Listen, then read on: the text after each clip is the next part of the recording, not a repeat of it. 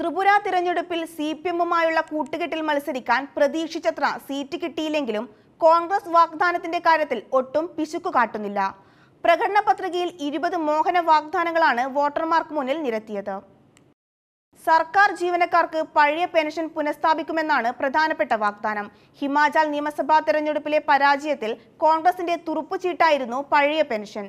ത്രിപുരയിൽ സഖ്യകക്ഷിയായ C P M കഴിഞ്ഞ ദിവസം പുറത്തുവിട്ട പ്രകടന പത്രികയിലും ഇതുതന്നെയാണ് മുഖ്യ വാഗ്ദാനം.